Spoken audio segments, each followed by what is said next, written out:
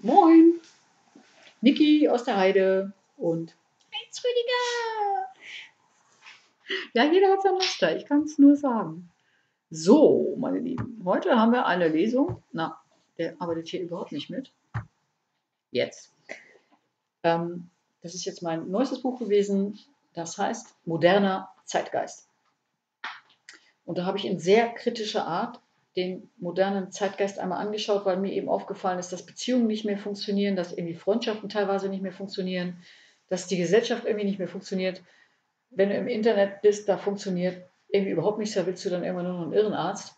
Und habe das wirklich einmal ähm, beleuchtet, was da eigentlich los ist in diesem Zeitgeist. Und soweit ich weiß, hat das vor mir noch keiner gemacht. Der Zeitgeist ist eine Denk- und Fühlweise, also eine Mentalität eines Zeitalters. Er umfasst die vorherrschenden Ideen und Lebensauffassungen einer Epoche, indem er die geistige Eigenart beschreibt, sowie den Versuch, diese gesellschaftlich zu vergegenwärtigen. Es ist eine auf aktuelle Bedürfnisse einer Gesellschaft abgestimmte Geisteshaltung. Weltanschauungen, Werte und die ihnen verbundene kulturelle Leitidee ändert sich ständig und immer schon und im Fortgang und bildet so den Zeitgeist. Und es gibt keinen Zeitgeist, der einem anderen ähnelt. Das Wort ist eine Determinativkomposition aus den Begriffen Zeit und Geist. Und als Begriffsschöpfer gilt 1769 der Dichter und Philosoph ähm, Gottfried Johann Herder. Populär wurde die Wendung Geist der Zeiten 1789 aus der Französischen Revolution und noch mehr in der Zeit ähm, des Vormärz, also ab 1815 mit dem Wiener Kongress oder ab 1830 genannt die Ära Metternich, die Märzrevolution. Das waren harte Zeiten. Das war durch das Aufkommen eines Nationalismus, Liberalismus und sogar schon Sozialismus gekennzeichnet, sowie die dagegen gerichtete Verfolgung und Unterdrückung dieser Ströme, welche auf die Wiederherstellung der alten Mächte zielte. Die Übergangsphase vom Agrarstaat zum Industriestaat brachte massive soziale Missstände auf und die Verarmung weiter Bevölkerungsteile, das nennt sich Pauperismus. Das wurde die charakteristischste Erscheinung dieser Zeit. Die plötzliche galoppierende Verelendung der Arbeiterschicht war für die damaligen Eliten ein völlig unerklärbares Phänomen.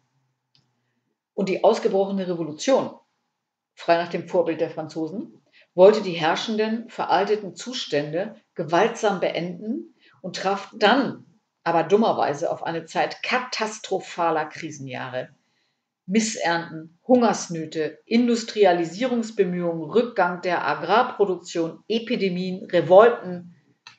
Die Gesellschaft löste sich auf. Und selbst heute besteht über die rasante Entstehung dieser plötzlichen Massenarmut kein Konsens. Und man vermutet eine Vielzahl beteiligter Faktoren. Und hier wurde der Begriff Zeitgeist geprägt. Er trägt untrüglich den Stempel von Neu, Umbruch, Revolution.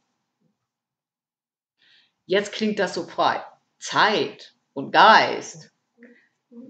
So, mein Gott, die Schnarcherei. Er ist ja den ganzen Tag hinter mir her und schnarcht immer in 30 Zentimeter Entfernung. Ne? Schon bei Herder hatte der Begriff aber etwas Einschränkendes und Bleiernes. Insbesondere aus politischen oder religiösen Bindungen befreite Menschen unterwerfen sich dem Zwang des Zeitgeists offenbar freiwillig und auch unkritisch, weil sie etwas brauchen, an dem sie sich orientieren können, ohne selber denken, fühlen oder irgendwie sich aufwiegeln lassen zu müssen. Ähm, und damit sich dann aus Versehen vielleicht aus der Gesellschaft noch auszusondern. Der Zeitgeist regiert immer da unkritisch, wo ein nominatives oder religiöses sich orientieren fehlt. Er tendiert sogar dahin, nonkonformes Denken auszugrenzen und versucht sowohl regulierend auf das Verhalten seiner Mitglieder einzuwirken, als auch von ihnen getragen zu werden. Also das ist schon der Zeitgeist, ne? Der weht wirklich durch. Der ist schon Basisarbeit. Die mit einem Zeitgeist verbundenen Wertvorstellungen nannte man immer auch epochale Weltanschauung. Heutzutage heißt das so flockig harmlos Mainstream. Und das ist etwas, das wahrscheinlich nur die wenigsten mit epochalen Weltanschauungen oder irgendwie überhaupt sowas mit Zeitgeist äh, gleichsetzen. Aber genau das ist damit eigentlich gemeint. Es ist halt das, was alle machen. Mainstream. Und bezeichnet ein extern motiviertes Wertesystem, das von einem Großteil der Gesellschaft unkritisch mindestens getragen, aber auch befürwortet wird. Sich an den Mainstream zu halten, heißt, gesellschaftlich akzeptiert zu sein. Du bist auf der sicheren Seite, wenn du dem Mainstream folgst.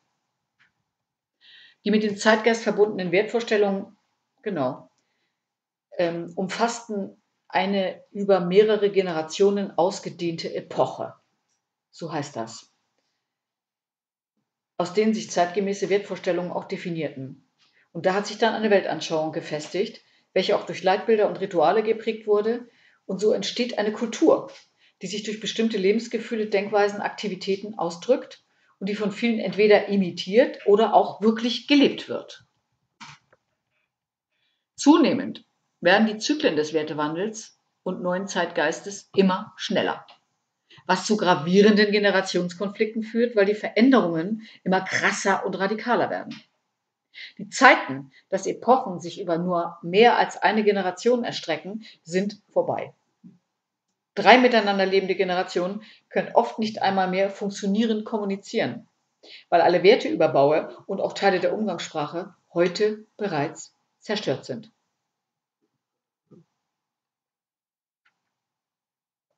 Das war das zum Zeitgeist. Und ich habe das jetzt einmal aufgeräppelt über fünf Generationen in Deutschland die Urgroßeltern. Die waren geboren, mein Gott, er tut überhaupt nichts hier. Die waren geboren äh, im viktorianischen Zeitalter, ungefähr 1880. 1880, 1890. Da sind unsere Urgroßeltern her. Die Altvorderen wurden im Zeitgeist schon allein durch zwei Weltkriege erschüttert. Der erste trieb unsere Urgroßeltern mit der Schubkarre voll Geld zum Brot kaufen. Es gab schließlich die Notmünze mit einem Nominalwert von einer Billion Mark. Wisst ihr, wie Nullen das sind? Und Papiergeld mit 100 Billionen Mark, was einem Wert von 100 Rentenmark entsprach. Diese Inflation dauerte von 14 bis 23 und nannte sich Hyperinflation. Es war die radikalste Geldentwertung einer großen Industrienation. Etwas Vergleichbares hat es nie mehr gegeben. Sie ist entstanden durch einen ganz dummen Denkfehler, weil die Regierung die umlaufende Geldmenge komplett massiv ausgeweitet hat in der Weimarer Republik und versuchte damit, den Staatsschulden auszukommen. Ja, kurz gesprungen, ne? Alle angesteuerten Gegenmaßnahmen zusammen mit dem beginnenden Krieg verschärften die Armut nur noch mehr und die verschwindende Kaufkraft immer weiter. Ein wesentlicher Teil der Mittelschicht fand sich schließlich ohne Arbeit in Armut wieder und fühlte sich von der Weimarer Republik völlig betrogen. Die Hyperinflation führte schließlich zu einem teilweise Zusammenbruch der deutschen Wirtschaft und des Bankensystems. Einen solchen Zeitgeist kann man sich heute nicht mehr vorstellen. Erst Hitler beendete das große Elend, weil er die Währung stabilisierte 23 und für Arbeit durch den Beginn des Zweiten Weltkrieges sorgte. So gelangte er an die Spitze. Der Zeitgeist unserer Urgroßmütter ist gekennzeichnet von großer Angst und Not, aber auch von großem Übermut und Lebensfreude. Sie rebellierten gegen ihre Ur-Urgroßeltern durch die revolutionäre Musik wie Wenn die Elisabeth nicht so schöne Beine hätte. Und bereits ansatzweise sozialdemokratischem Gedankengut. Junge Frauen fuhren ungehemmt mit fliegenden Röcken Fahrrad und zeigten ihre Fußknöchel. Sie schnürten sich nicht mehr in Mieder ein und trugen offenes oder sogar kurzes Haar und Uhren am Handgelenk wie amerikanisch. Sie schüttelten nachts Meere von Paletten zu wildem Klang von Charleston und rauchten ungehemmt aus langen Zigarettenspitzen. Und einige ließen sich sogar in gewagten Badeanzügen fotografieren. Shocking. Eine Revolution. Der Zeitgeist des weiblichen Freiheitsbegehrens, der Auflehnung gegen das althergebrachte Patriarchat und der beginnenden Emanzipation, das haben wir unseren Urgroßmüttern zu verdanken. Was für ein Mut, was für eine Aufruhr. Eine Revolution unter den Geschlechtern, der französischen Revolution und dem Vormärz nicht unähnlich. Liberté, Fraternité, Egalité. Nieder mit den verstaubten Regeln und Normen. Diese mutigen Frauen läuteten eine neue Zeit ein, die das Angesicht der westlichen Welt für immer verändern würde.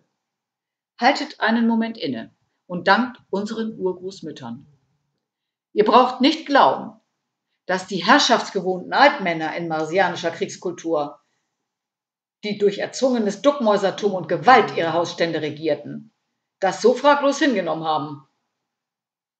Wie im Vormärz kämpften sie darum, ihre vorherige Machtposition wieder einzunehmen. Und das ging nur durch Unterdrückung. Und noch immer gibt es Spuren dieser gescheiterten Offensive, die sich nicht mehr aufhalten ließ. Einfach weil eine neue Zeit gekommen war und all diese alten Säcke einfach wegfegte. Es bestehen immer noch medizinische Bücher aus dieser Zeit, in denen die tierische, abstoßende, unmenschliche Hässlichkeit des weiblichen Geschlechtsorganes ausarbeitet wird. Und in unserer Sprache, dem größten Kulturspeicher, den wir besitzen, ist zu beobachten etwas, das sich Peonisierung nennt. Damit gemeint ist die verbale Abwertung des Weiblichen. Es gibt nur noch einen einzigen Ausdruck, der von Respekt zeugt. Das ist die Dame. Alle anderen sind entwertet und sexuell abgewertet, vom Mädchen bis zur Jungfer. Frauen sind immer noch weitaus seltener in einflussreichen Positionen. Sie verdienen im Schnitt weniger. Und außerdem werden Frauen aller Altersklassen so massiv sexuell belästigt wie in keiner anderen Zeit zuvor. 60 Prozent aller heutigen Werbung ist frauenfeindlich, da sie sich sexuell auf die Frau fokussiert. Die nächste Generation, unsere Großeltern, wie schon im Ersten Weltkrieg als Kind aufgewachsenen Großeltern, also die sind geboren ungefähr 1920. 1910, 1920, 1900, ja, das ist die Zeit, 25 vielleicht. Die wurden in der Schule noch mit dem Rohrstock auf die Hände geschlagen und mussten mit der Eselsmütze auf dem Kopf mit dem Gesicht zur Ecke stehen, wenn sie sich irgendwie dumm benommen hatten in der Klasse. Oder, wenn es wirklich hart war, zum Büßen in den Karzer. Das war eine Gefängniszelle. Ne? Und ähm, sie wuchs in einem Zeitalter der Industrialisierung auf. Der, es war der Übertritt vom Agrarstaat in die Industrie, da um die Jahrhundertwende. Und sie staunten über kilometerhohe rauchende Fabrikschlote, die überall wie Pilze aus der Erde schossen. Sie gingen ins Kino und belachten Heinz Rühmann, der eigentlich gar kein Schauspieler sein wollte, weil er sich selbst für völlig unbegabt hielt mit seiner näselnden Automatenstimme. Heinz schrieb damals Zeitgeist mit seinem melancholischen, leisen und hintergründigen Humor. Und das Publikum liebte ihn, obwohl er es hasste, ein, Schauspieler zu sein. Und er war einer der wenigen, der Hitlers harter Zensur entkam. Auch Leni Riefenstahl schrieb am Zeitgeist, sie war eine Filmregisseurin im Dienst der Propaganda. Unter dem Titel Olympia veröffentlichte sie eine zweiteilige Dokumentation über die Sommerspiele 36 in Berlin.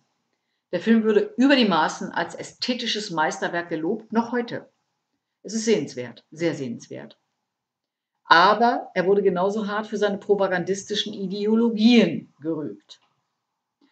Sie filmte später sogar live Hitlers Überfall auf Polen am 1. September 1939. Unprovoziert als erlogener Vergeltungsschlag ausgeführt. Hitler sagte dazu im Radio, ab heute wird zurückgeschossen. In Polen hat überhaupt keiner auch nur eine Tannadel fallen lassen. Es war alles gelogen. Trotz ihrer klaren Einbindung und Gesinnung wurde sie aber in der Entnazifizierung lediglich als Mitläuferin eingestuft. Mit der Karriere war es aber Essig. Und schon brach nur 21 Jahre später der Zweite Weltkrieg 39 aus und die Großeltern hatten schon den Zweiten Krieg am Ärmel. Mit dem deutschen Überfall auf Polen begann am 1. September Hitlers Ziel der Eroberung des Lebensraums im Osten. Weltweit kosteten die siebenjährigen Kämpfe mehr als 30 Millionen Menschen das Leben. Dabei wurden mehr als 6 Millionen Juden ermordet und 50 Millionen Menschen verloren das Leben. Was? 30? 50, nicht 30, ich habe falsch gelesen. 60 Staaten waren beteiligt, mehr mittelbar oder unmittelbar. Und 110 Millionen Deutsche standen unter Waffen. Da kann sich kein Mensch mehr vorstellen. Wo der Erste Weltkrieg allein an den Fronten und auch noch Mann gegen Mann, ne, die hatten ja eine Pike teilweise am Gewehr und haben da gekämpft, ne, zwischen Soldaten sich abgespielt hatte, verlagerte sich diese Schlacht nun als Luftkrieg über die Städte sowie gegen Greise, Frauen und Kinder, gegen Zivilisten. So etwas hatte es überhaupt noch nie gegeben. Es war mir nicht möglich, lupenrein zu recherchieren, wer damit schlussendlich wirklich begonnen hatte. Verdachtsweise waren es die Engländer. Wenn ihr das wisst, schreibt es bitte in die Comments rein und macht uns schlau. Die Luftschlacht über Deutschland begann am Nachmittag des 10. März 2000, äh, 1940, als drei Motor, zweimotorige Flugzeuge fast 70 Bomben auf Freiburg im Breisgau abwarfen. Es starben 57 Menschen und wirklich tragisch war der Tod von 20 kleinen Kindern, die sich ausgerechnet in die Köln-Marer Straße 7 geflüchtet hatten, die dann komplett ausgebombt wurde. Neun Maschinen waren in einer drei Ketten gestartet, von denen eine sich schon unterwegs verloren hatte, weil die sich völlig verflogen hat und nur eine Kette gelangte in den Schwarzwald, wo dichte Gewitterwolken lagen. Und diese drei Piloten haben völlig die Orientierung verloren, kreisten eine Stunde irgendwie darum und sahen dann in 2000 Meter Höhe, wie sie glaubten, ihr Ausweichziel Dole Travaux in Frankreich. Nach ihrer Landung zurück im heimatlichen Flughafen stellte man dann allerdings fest, dass Deutschland den beginnenden Luftkrieg leider gegen sich selbst geführt hatte. Diese drei Flugzeuge hatten Freising abgeschossen und nicht Dole Travaux. Als Göring davon erfuhr, sagte er, dieser Feldzug fängt ja gut an. Die Luftwaffe und ich haben sich schwer blamiert. Wann genau Hitler von diesem peinlichen Patzer erfuhr, ist nicht überliefert. Aber er wusste Bescheid, als er im Juli 40 vor dem Reichstag den Luftangriff auf Freiburg als den Beginn eines unbeschränkten Luftkrieges durch die Royal Air Force bezeichnete. Also wieder die gleiche Scheiße wie mit Polen, ja? Greift sich selber an und erklärt den Krieg. Wahnsinn. Wahnsinn. Am 12. Mai 1940 fielen die ersten britischen Bomben auf eine deutsche Stadt, nämlich Mönchengladbach. Und am 10. Mai hatte man vorher schon gezielt Wilhelmshavens Kriegshafen bombardiert. Und damit begann der Luftkrieg über Deutschland. Junge Paare, Familien wurden auseinandergerissen und viele sahen sich danach nie mehr wieder. Die Männer fielen an den Fronten oder gerieten in Russland in Gefangenschaft. Die Frauen wurden ausgebombt, teilweise vergewaltigt und von den Alliierten schließlich als besiegt besetzt. Danach fingen sie an, in kilometerlangen Ameisenketten die Trümmer mit ihren Händen aus den Städten zu tragen. Und dabei sangen sie. Ein Mann. Dabei blieb es aber ja nicht. Vor, im und nach dem Zweiten Weltkrieg verloren nämlich insgesamt 60 Millionen Menschen in Europa ihre Heimat. Die Ideologie zweier totalitärer Systeme hatte sie alle zu Zwangsmigranten gemacht. Zwischen 39 und 50 fand eine Völkerwanderung statt, die etwa 25 bis 30 Millionen Menschen erfasste und nicht nur aus Flüchtlingen und Vertriebenen bestand. Zehntausende Kinder aus Landheimverschickungen, Hunderttausende Evakuierte, Millionen heimgekehrter Soldaten, befreite KZ-Häftlinge, Zwangsarbeiter waren durch Europa unterwegs, um in ihre Heimatländer zurückzugehen. Und es war die größte Völkerwanderung seit der Antike. Die stärkste Gruppe war eine 14 Millionen starke Gruppe Deutsche, die zwischen 44 und 50 aus der Flucht und vor der Vertreibung aus Ostmitteleuropa der Roten Armee zum Opfer gefallen war und zwar die sogenannten Sudetendeutschen aus Schlesien und dem ganzen Umlauf. Ne? Die Lebensbedingungen dieser Menschen waren katastrophal und es starben von zehn Kindern unter einem Jahr neun. Wahnsinn. Wahnsinn. Dann waren viele obdachlos, unterernährt und irrten herum. Und da haben sich dann auch noch Seuchen gebildet, wo dann noch ein Massensterben einsetzt und die ganzen Leichen da abgewrackt an den Straßen. Und infolge von Flucht und Vertreibung lebten im geteilten Deutschland bald doppelt so viele Menschen pro Quadratkilometer wie vor dem Krieg. Und dabei nahm die Republik etwa 8 Millionen Vertriebene auf, was einem Bevölkerungsanteil von 16 Prozent entsprach, und die spätere DDR 4 Millionen, was einem Bevölkerungsanspruch von 25 Prozent, also jeder vierte war ein Vertriebener. Das ist eine Masse Zeugs. Die Integration hatte eine regelrechte Bevölkerungsverschiebung zur Folge. Und äh, trotzdem ist nicht allen die Flucht auch gelungen. Also wir wissen zum Beispiel, dass es ein Pogrom gab zwischen dem 3. und 7. Juli 1945 auf dem Kasernengeländer in äh, Postol-Pütri im Nordwesten Tschechiens. Und da wurden mindestens 763 deutsche Männer zwischen 12 und 60 auf einen Todesmarsch gezwungen, gefoltert und dann erschossen. Als Begründung für dieses Massaker nannten die Tschechen der Kampf zur Wiedergewinnung der Freiheit, die gerechte Vergeltung für die Taten der Okkupanten oder ihrer Helfershelfer. So. Und die amtierende Exilregierung in London befand das Massaker für nicht widerrechtlich. Ist ein guter Zeitgeist, oder? Aber es kam weder im Westen noch im Osten Deutschlands zu irgendeiner reibungslosen, schmerzfreien oder gar harmonischen Integration dieser ganzen Flüchtlinge. Das braucht ihr nicht glauben. Thematisiert wurde das aber nicht. Bei der Ankunft wurden diese bereits mit Verachtung konfrontiert und trotz deutscher Sprache, sie hatten das rollende R als Polacken beschimpft. Die furchtbaren Erlebnisse dieser vertriebenen Flüchtlinge, die alles verloren hatten, ja, viele waren unterwegs auf diesem Marsch auch einfach gestorben, ja, weil wenn du krank schon losläufst, kommst du gesund bestimmt nicht an. Ne? Äh, man hatte selbst genug Probleme und wollte die da gar nicht haben. Und als hätte keiner aus der Akte Hitler irgendwas gelernt, kam es zum offenen deutschen Rassismus gegen die deutschen Vertriebenen. Das waren nicht mal Juden, das waren Christen, das waren Deutsche. Und insbesondere in Schleswig-Holstein wo die Bevölkerung sich fast verdoppelt hatte, sind zahlreiche Beispiele puren Hasses überliefert. Ne? Gesochse, Flüchtlingspack, Ostpack, in der Nordsee mit dat Shit. Muss man sich mal vorstellen. Die hatten genau das Gleiche erlebt. Die standen unter einem totalitären System, die waren weggetrieben, die hatten auch alles verloren. Und dann Polacke. Der Deutsche, der hat schon, der kann schon was. Abwehrhaltung, Vorurteile, Verachtung und Neid. Es wurde diskriminierend, nationalsozialistisch, wie gerade erst gehabt, gegen diese Untermenschen aus dem Osten gehetzt. Die Flüchtlinge mussten hinausgeworfen werden. Das war eine Rhetorik, die durchaus mit Propagandaparolen vergleichbar war. Und die Bauern müssen dabei tatkräftig mithelfen, schärfte Jakob Fischbacher, ein Mitbegründer der Bayernpartei, seinen Bauern ein. Es sei eine Blutschande, wenn ein Bauernsohn eine solche blonde Dirne heiratete. Am besten schickst du mal die alle nach Sibirien. Solche Wutreden waren keine Seltenheit und die Leute hörten ihm zu, genauso wie sie Hitler vorher zugehört hatten.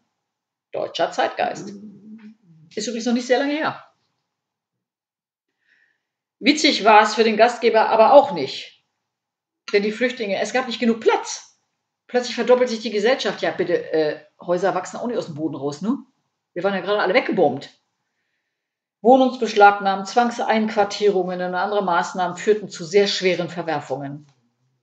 Und dann kam dazu noch der Lastenausgleich. Die Vertriebenen erhielten als Wiedergutmachung für ihr verlorenes Eigentum von den Einheimischen, die ja selber alle schwere Kriegsschäden erlebten hatten und die wirtschaftlich alle am Ärmel waren, die Hälfte deren Vermögens gestreckt auf 30 Jahre. Ja, dass das nicht unbedingt Freude macht, ist klar, oder? Und wer auf so eine unmenschliche Idee gekommen ist, die vom Krieg ausgebluteten, besiegten Deutschen erst mit Vertriebenen zu, zwangs zu evakuieren und ihnen dann noch die Hälfte von ihrem Eigentum wegzunehmen, also entschuldige, dass dann keine, keine Harmonie herrscht, ist, ist irgendwie klar, oder? Also wie gesagt, das hat nie funktioniert. Und ähm, sie waren nie etwas anderes als äh, ein Besatzungsproblem und Parasiten. Das Schicksal der Opfer der nationalsozialistischen Herrschaft wurde weiterhin verdrängt und das zumeist bis heute. Und ich muss sagen, ich habe in meiner Arbeit schon einige äh, Nachkommen von sudetendeutschen Flüchtlingen aus Schlesien kennengelernt. Das sind alles wundervolle Menschen mit einer sehr großen Freundlichkeit und Ruhe. Die sprechen aber nicht. Sie sagen, es war eine schwere Zeit, es war eine harte Zeit und wir sind alle froh, dass wir es überlebt haben. Mehr sagen die nicht. Das war der Zeitgeist unserer Großeltern. Viel Raum für fluffige Heiterkeit, Auflehnung und Revolte war da also mal nicht, ne? Und so kam es, dass sich fast jeder nur um sich selbst kümmerte und die versuchten sich irgendwie durchzuwursteln und die Füße an den Fußboden zu kriegen, ne? Und der Zeitgeist, äh, in dem diese Menschen lebten und was der aus ihnen machte, das kann man in heutiger Sicht, aus heutiger Sicht, wenn man dorthin guckt, äh, diese 50 Jahre, das kann man gar nicht begreifen, wenn man da nicht bei war. Viele Frauen ahnten ja nur, dass sie wohl verwitwet waren, weil ihre Männer in Russland einfach verschwanden. Sie haben oft bis in die 50er Jahre hinein gehofft, dass sie doch eines Tages noch aus einer möglichen Gefangenschaft wieder zurückkehren. Aber wenn sie in einer Schlacht verloren gegangen war, war das nicht wahrscheinlich. Aber was für ein Leben, ja? Du denkst immer jedes Mal, wenn es klingelt, das könnte ein Mann sein, der aus Russland kommt. Scheiße, scheiße. Meine Güte, jetzt hör doch mal auf zu schnarchen.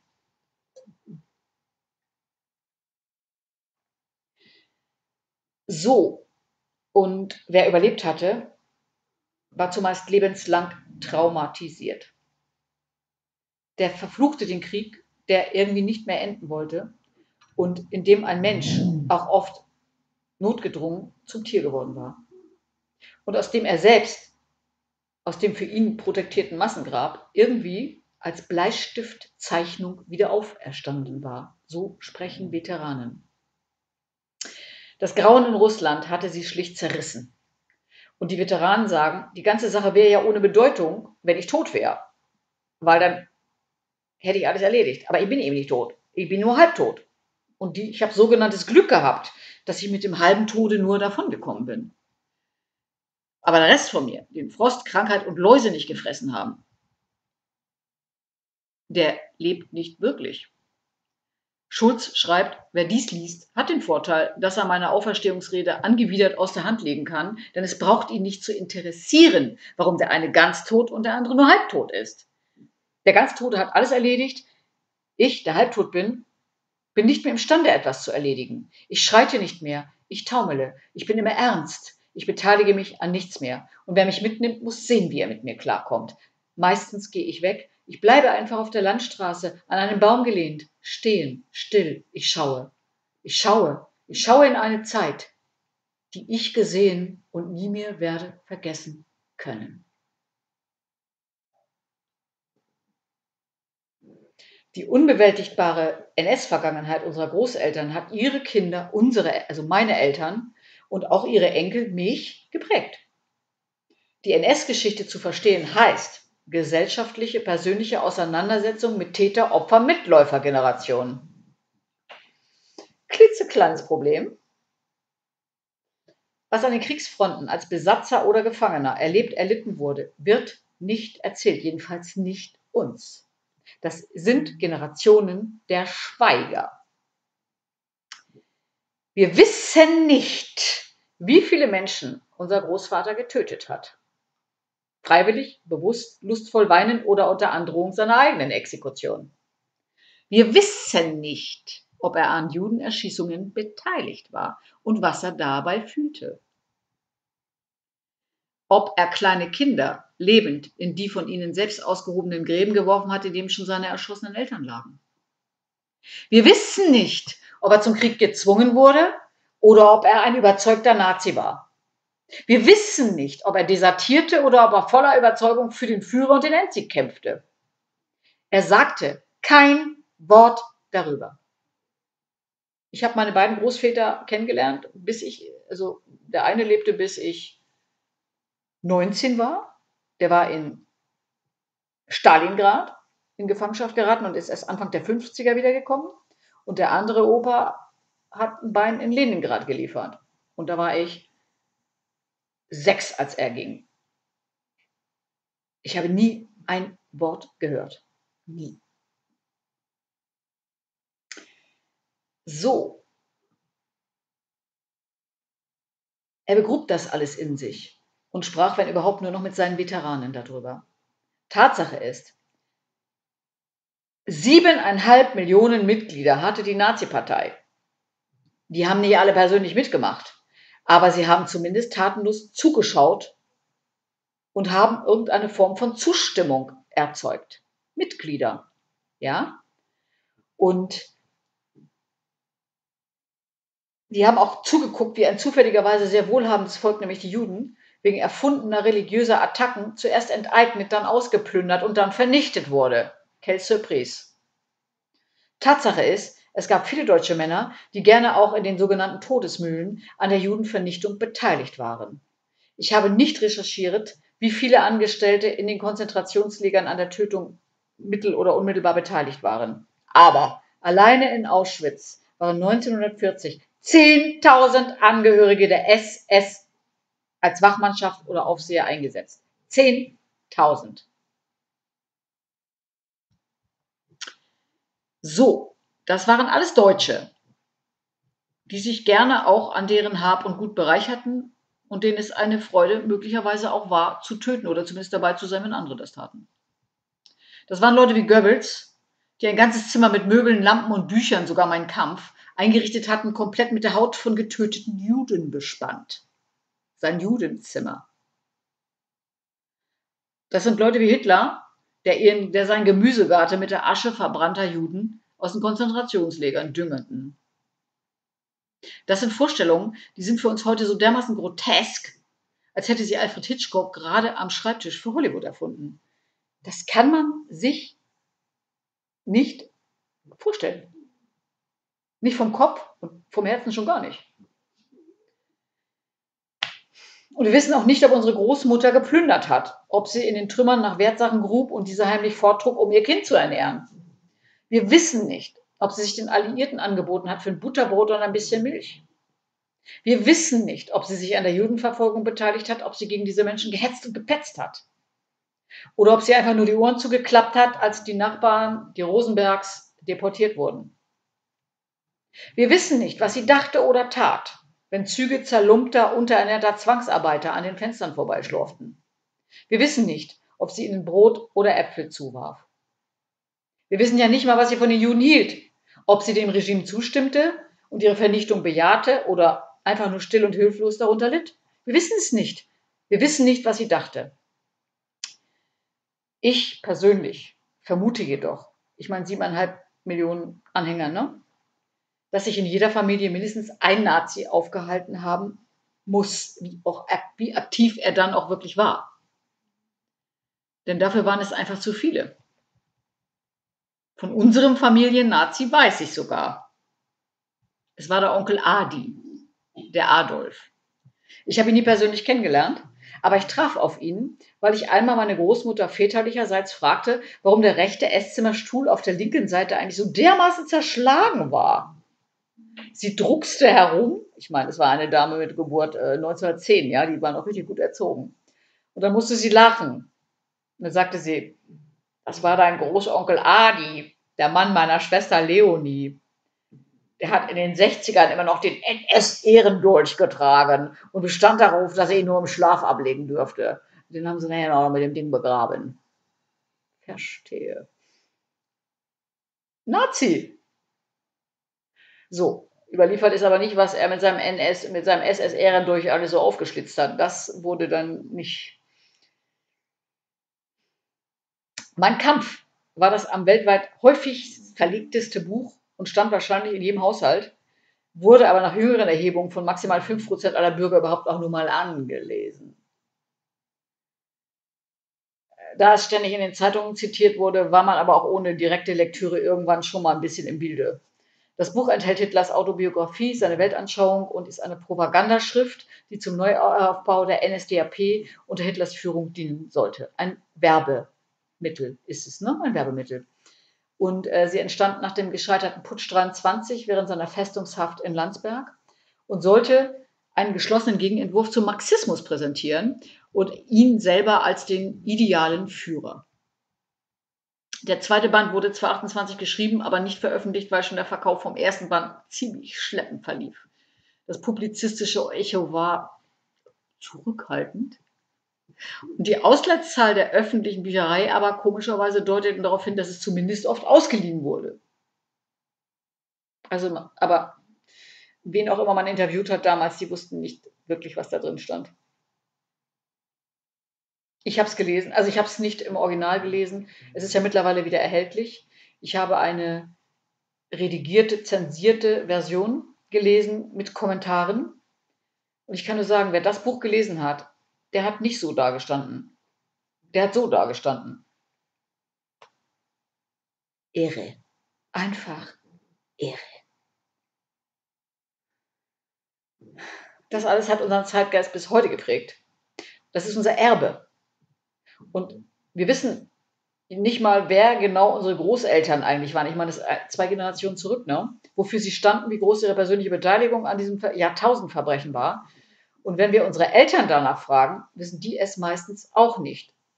Oder behaupten es zumindest. Ich glaube, dass so ein Krieg Menschen immer massiv verändert, traumatisiert und zerstört, in einer Weise, wie sie es selber nicht für möglich gehalten hätten. Es gab einen unglaublichen Gruppendruck und eine unglaubliche Verformung des Volkskörpers sowie der Volksseele. Ich glaube übrigens gar nicht, dass uns ein Urteil über das zusteht, was damals geschah und geschehen musste. Wir waren ja gar nicht dabei. Wir haben das gar nicht erlebt. Und hier eine kleine dankbare Gedenkminute für unsere lieben Großeltern, egal wer sie nun waren. Sie haben als Opfer zwei Kriege überlebt und haben trotzdem nicht aufgegeben. Wir verbinden uns eine Minute mit diesem unfassbaren Leid, das sie unschuldig ertragen mussten. Und wir danken ihnen, dass sie das Deutschland, wie wir es heute kennen, mit ihren eigenen Händen aus dem Schutt, aus dem Nichts aufgebaut haben. Das waren unsere Großeltern. Sie sind die Kräfte des Wirtschaftswunders, auf denen wir heute noch stehen. Sie haben nie den Mut verloren, haben nie aufgegeben. Danke.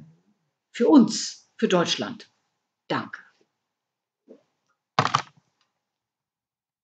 Die Eltern.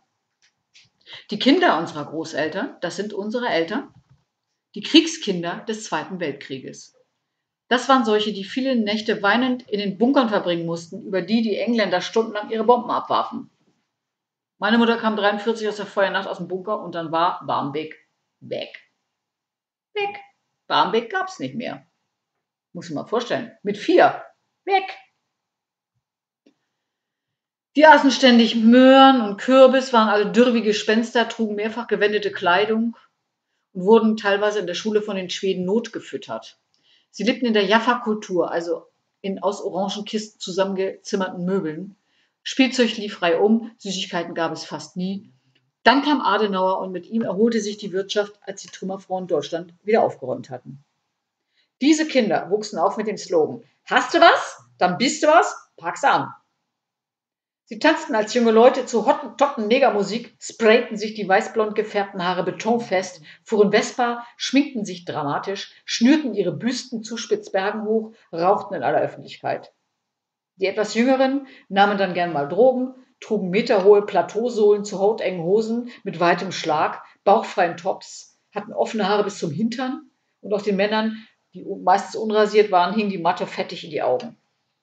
Sie erzogen ihre Kinder nicht mehr, weigerten sich Ältere zu sitzen, mochten nicht heiraten, wählten SPD oder gar nicht, boykottierten Krieg und feierten die freie Liebe. Viele von ihnen verloren dann in den 60ern völlig die Fassung und dann auch gleich noch den BH. Ihre Generation erlebte die erste bemannte Mondlandung am 20. Juli 1969 und verfolgte atemlos an den Bildschirmen die Ankunft von Apollo 11 auf unserem Nachtgestirn. Ein neues Zeitalter der Technologie begann. Der Zeitgeist war wieder der des Aufbruchs, weg von den verstaubten Moralvorstellungen, überkommen einengende Verhaltensdiktate. Tabus und alte Moralvorgaben wurden einfach aufgelöst und ihre Übertretung war sogar obsolet. Es war eine stille Revolte, die sich sehr über Musik, Mode, Gesinnung, Politik, Gefühle und Psychologie auslegte. Es war ein Zeitgeist, ein friedlicher Zeitgeist der positiven Emotionen und echter Gefühle. Die Menschen interessierten sich aufrichtig für das Befinden der anderen, begannen jeden Satz mit du und das Credo lautete, mach das Innere öffentlich. Ja, make peace not war. Sag mir, wo die Blumen sind. Wo sind sie geblieben? Solche Lieder sang man in Gruppen auf der Wiese. Sie wollten das eiserne Schweigen der Altvorderen brechen, die ihre schrecklichen Erfahrungen in sich eingesperrt hatten. Nichts mehr davon hören wollten. Allesamt eher hölzern miteinander umgingen. Sie konnten und wollten nicht akzeptieren, dass deutsche Frauen ausgebombt und besetzt waren und deutsche Männer aus der Gefangenschaft in Stalin oder Leningrad kamen, dass die nicht mehr reden mochten. Darum stürzten sie sich schließlich auf die vergessenen Veteranen aus Vietcong. Schon damals nahmen sich da von denen täglich 20 ins Leben, weil die weder mit ihren schrecklichen Erlebnissen noch mit dem ihnen entgegenschlagenden Hass der Amerikaner zu tun kriegten. Die kamen damit nicht klar. Ein gefundenes Fressen für die Du-Du-Du-Gesellschaft, die irgendwas an diesen schrecklichen Kriegen mit ihrer Liebe wieder gut machen wollten. Eine tolle Generation, echte Menschen im Bedürfnis nach Frieden, Liebe, Gleichheit, Brüderlichkeit. Wirtschaftlichkeit galt ihnen nicht so viel. Halten wir einen Moment inne und gedenken ihnen dankend, dass so viele echte Menschlichkeit versucht hatte, die Welt ein bisschen besser zu machen. Warum kann ich nicht erkennen, sie doch schlussendlich gescheitert sind damit? Vielleicht sind sie einfach erwachsen geworden. Viele von denen haben aber trotzdem einen voll an der Bimmel, weil die kollektive Psychotherapie hat irgendwie nicht ganz überall durchgeschlagen. Und das allein schon deshalb nicht, weil man einen Krieg, der mit Bomben gegen Zivilisten ging, einfach nicht verstehen und nicht verarbeiten kann, schon gar nicht als Kind. Und diesen Hau gaben sie zumindest unerkannt an ihre eigenen Kinder weiter. Wir, die Kinder der Kriegskinder, haben den Krieg sozusagen noch in uns. Ja, man nennt sie die Generation der Schweiger und wir wissen fast nichts. Viele haben sich eine Persönlichkeitsstörung antrainiert Oft ist es die emotional instabile oder auch ein Borderliner. Auch narzisstische Züge sind gern vertreten. Diese Menschen waren im Familienleben oft gefühlskalt und ähm, weitgehend beziehungsunfähig. Und zwar, wenn sie für Woodstock schon zu alt gewesen waren, also die Kinder der 50er, nicht die Kinder der 60er. Ihr Erziehungsstil war nicht anti-autoritär, sondern ähnlich äh, autoritär wie der ihrer Eltern. Sie wollten nicht die Freunde ihrer Kinder sein. Sie wollten auch keine Gleichwertigkeit. Sie sahen sich als Versorger. Und sie erwarteten Respekt und dass die Kinder immer zu ihnen kamen, nicht umgekehrt. Gefühle und Liebe gab es hier oft nicht. Wenn diese Kinder sich gegen dieses menschenunfreundliche, lieblose Verhalten auflehnten und dann eben nicht kamen, verstarb die Beziehung oft wort- und geruchlos. Wenn wir nun mal nicht wollten, konnte man ja uns nun nicht zwingen. Soweit mal die Eltern. Gedenken wir bitte auch Ihnen einen Moment in Dankbarkeit. Sie waren zerschundene, zerschlagene, verhungerte Kriegskinder, die das irgendwie geschafft haben zu überleben und ein normales Leben zu führen. Sie hatten sogar den Mut, selber Kinder in die Welt zu setzen, obwohl ihre eigenen Kinder so dermaßen scheiße waren. Vermutlich wollten sie alles besser machen. Und sie taten wirklich, was sie konnten. Sie konnten oft leider eben nichts. Und sie wollten das aber nicht bemerken. Darum sind viele in meiner Generation in ihrer Herkunftsfamilie leider psychisch und emotional katastrophal gescheitert. Trotzdem, danke, danke, liebe Eltern, danke, dass ihr das alles auf euch genommen habt, dass ihr euch getraut habt, dass ihr immer eures Bestes zu geben versucht habt. Es war genug, macht euch keine Sorgen. Danke. Und die vierte Generation, die Kinder. Ihre Kinder, die Kinder der 70er, nämlich meine Generation, waren komischerweise alle völlig verklemmt, obwohl schon frühkindlich vollständig aufgeklärt. Nach dem hemmungslosen Vögeln auf Woodstock brach eine Zeit der Unschuld an. Als Kind trug ich Dirndl und Latzhosen. Später waren wirklich alle Jugendlichen mit Parkas und Deutschlandflagge auf dem linken Oberarm und Arafat-Tüchern uniformiert. Wenn die 7D damals geschlossen im Herbst zum Sport ging, sah das aus wie eine Truppenübung. Wenn man sich das heute mal anguckt, Armeeparker und geringelte Ballettstulpen. Niedlich war auch an dieser extrem militaristischen Kleidung der übliche Make Peace Not War Button mit dem Aufdruck, stell dir vor, es ist Krieg und keiner geht hin. Also geistig irgendwie ein kleines bisschen bleifrei geflogen, aber das hat niemand je hinterfragt, soweit ich weiß. In der Pubertät wurde die Kleidung dann züchtig und verbergend. Die Hosen waren alle weit, die hängten extrem lang. Jacketts bis zur Komik an den Schultern aufgeblasen, die Jacken plusterig, wulstig, Wer das nicht mitmachte, war wahrscheinlich ein Popper, die Wiedergeburt der Tets aus Ende der 50er. Im Rückblick sahen wir wohl alle irgendwie ein bisschen aus wie Michelin-Männchen in Sancho-Boots mit Wollstulpen. Naja, lassen wir das jetzt. Hauptsache, die Haare waren gegelt. Wir waren eine Generation der Unschuldigen. Ein Aufschrei gegenüber die Welt, als Ryder erst Twixies und dann auch noch rauskam, dass George Michael Colt Sievers, YMCA und ausgerechnet Rock Hudson schwul waren.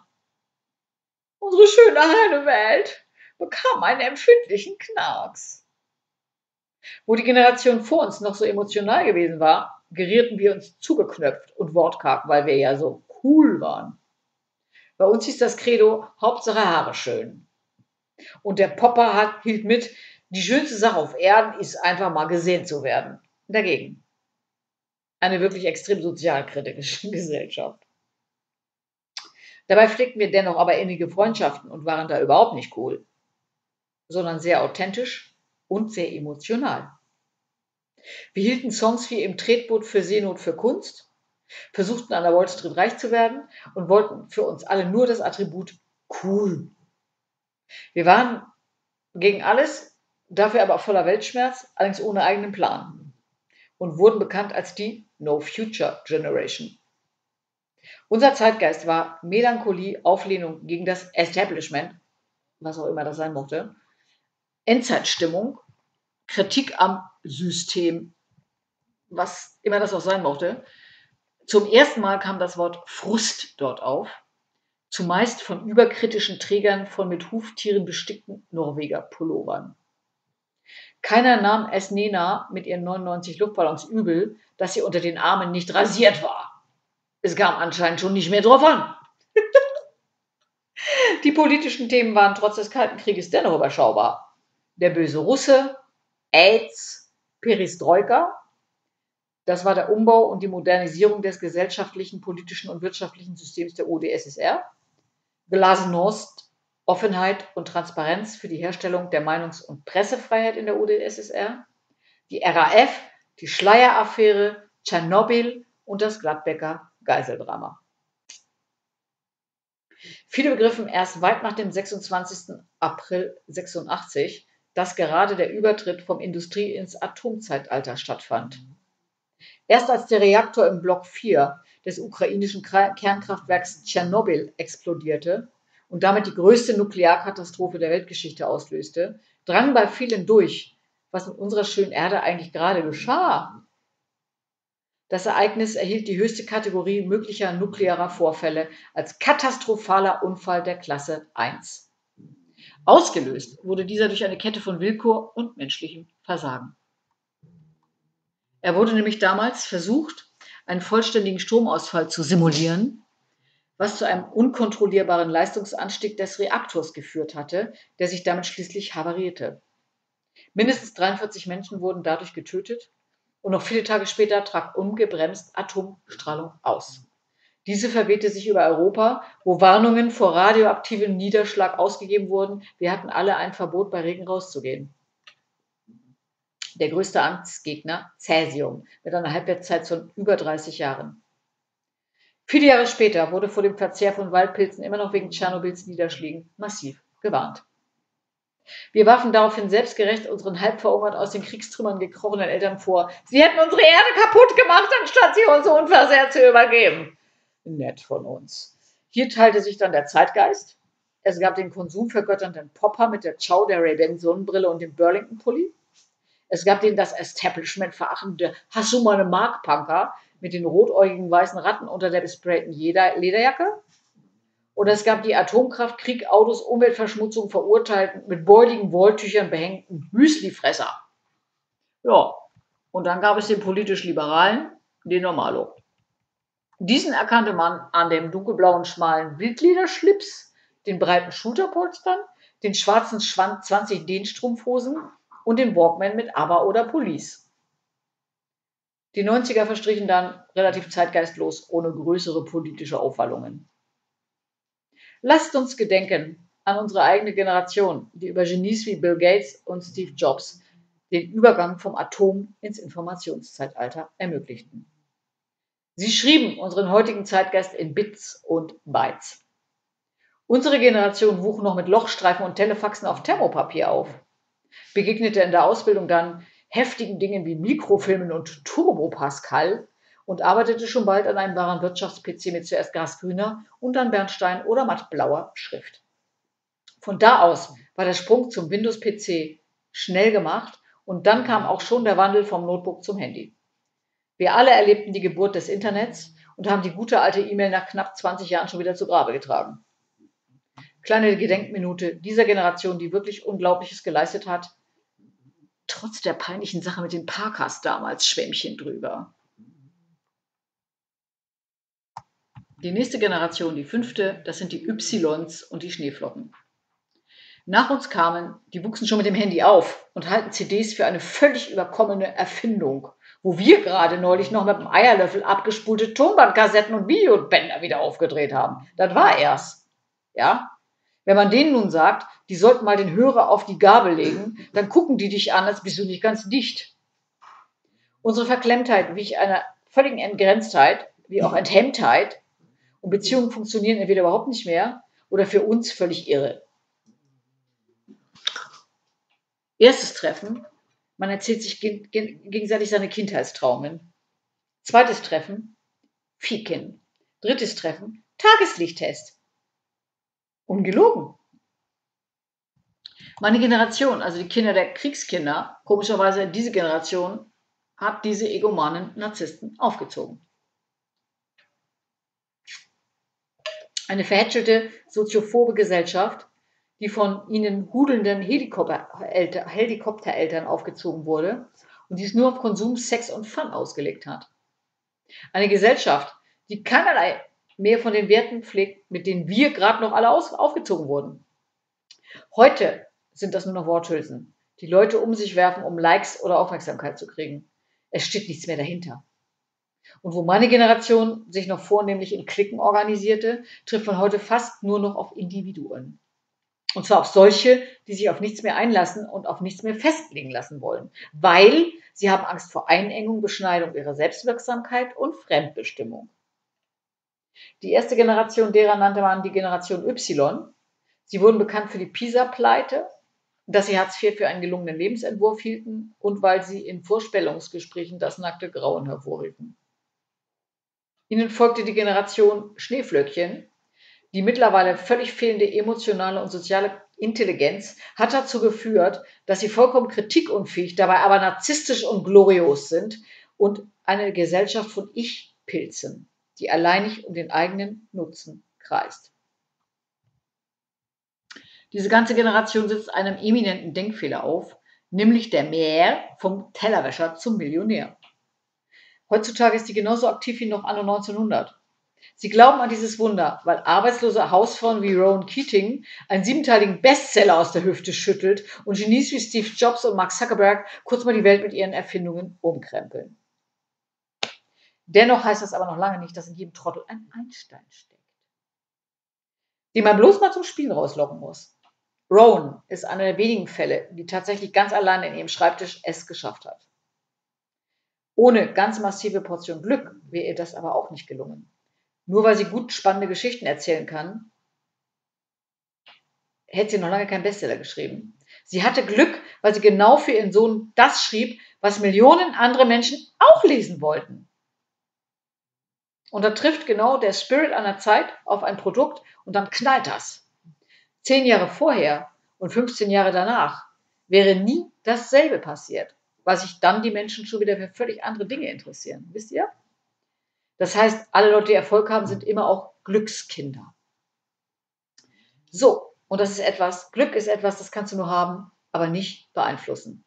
Und es ist launisch und ungerecht. Es kommt, keiner weiß warum, und es geht, weiß auch keiner warum. Der eine hat's, keiner weiß warum, und der andere hat's nicht, weiß auch keiner. Alle, die einen übermenschlichen Erfolg hatten, wurden von der Unvorhersehbarkeit, Heftigkeit und Plötzlichkeit dieses Erfolges völlig überrascht. Es war, als hätten sie im Garten nur eine Rose einsetzen wollen, und plötzlich sprudelte da eine gigantische Ölquelle vor ihnen hoch. Und das passiert immer dann, wenn Menschen aus Versehen den Zeitgeist anstechen und damit dann give the people what they want machen. Es ist Leuten wie Sean Connery passiert mit James Bond. Es ist Leuten wie Norma Jean Baker mit Marilyn Monroe passiert. Und es ist Heinz Rühmann mit Heinz Rühmann passiert. Es ist sogar Adolf Hitler mit seinem tausendjährigen Reich passiert. Es ist nicht gesagt, dass das zehn Jahre später wieder passiert wäre. Er hat genau den Zeitgeist gehabt. Er hat angefangen, einen Krieg anzufangen, hat dadurch Arbeit gebracht, hat Geld gebracht, hat Sicherheit gebracht, hat die Währung stabilisiert. Rums war er im Geschäft. Wie oft diese Glückskinder vorher gescheitert sind mit ihren Ideen. Wie viel unbezahlbare Hilfe sie gehabt hatten, wie viel Glück. Alle von ihnen erzählen Geschichten von und wenn da nicht, dann hätte nie. Und die Schneeflöckchen ignorieren das und werden noch dazu von den Medien gepusht. Du bist geil, du bist einzigartig. Mit genau deinem Talent brauchen wir die Welt. Da warten wir mindestens schon seit letzten Mittwoch drauf. Mach was, tu was, sei besonders. Sendungen wie Deutschland sucht den Superstar oder das Supermodell hudeln narzisstischen Größenwahn der Jugendlichen heute massiv. Umfragen ergaben, dass kleine Jungs heute nicht mehr Fußballer, sondern Nationalstar werden wollen und kleine Mädchen nicht mehr Prinzessin, sondern Kaiserin. Und damit stehen sie jetzt alle im Fernsehen und machen sich völlig talentfrei wirklich zum Löffel. Der Zeitgeist dieser Generation ist schlecht erkennbar. Recherchieren kann ich ihn auch nicht. Schlechte Musik, schlechte Mode, schlechtes Benehmen. Aber das sind die Äußerungen eines Generationskonflikts, fürchte ich. Ist eine Generation, die sich über Schlager schlapplacht, dabei Flatrate saufen macht. Sie finden Geiz geil. Viele sind abhängig von Meth, Crystal, Speed, Koks, Cannabis und Alkohol. Wir leben in einer süchtigen Gesellschaft, wie wir es noch nie zuvor gehabt haben.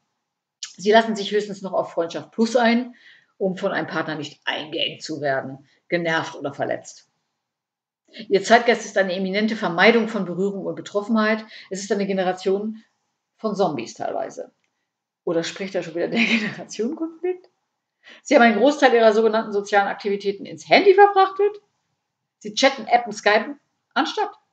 Das Leben aber scheinen sie dabei strikt zu vermeiden. Sie lebten schon vor der Corona in einer völlig freiwilligen Kontaktbeschränkung. Ihnen fehlt aber nichts. Und selbst wenn sie mal zu zweit im Kaffee sitzen, hackt jeder in sein Handy rein. Danken kann ich denen jetzt auch nicht, weil sie noch nichts Nennenswertes zustande gebracht haben. Und ich persönlich ihren narzisstischen, emotionsfreien Spirit einfach nur zum Kotzen finde. Naja, zwischen Freud und Freiheit ist die Brücke leid. Vielleicht kommt ja noch was nach. Und hier kann man erkennen, dass der Zeitgeist sich nur in den letzten 100 Jahren allein schon viermal komplett ausgehebelt hat. Und wenn man den modernen Zeitgeist einmal recherchiert, trifft man nur auf Betrachtungen zu Kunst, zur Vorindustrialisierung. Aber wir haben einen modernen Zeitgeist. Und bei uns kommen auch einige Härtefälle dazu, die keine Generation von uns vorher je kannte. Aus der Reihe, jede Zeit hat ihre Plage. Das war die Dichterlesung Moderner Zeitgeist. Interessantes Buch, sehr interessant. Geschichtsunterricht der etwas anderen Art. Tüdelü.